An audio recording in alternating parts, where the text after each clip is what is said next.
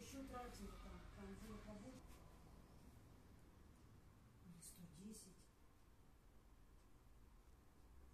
Или 103. Ну, в общем.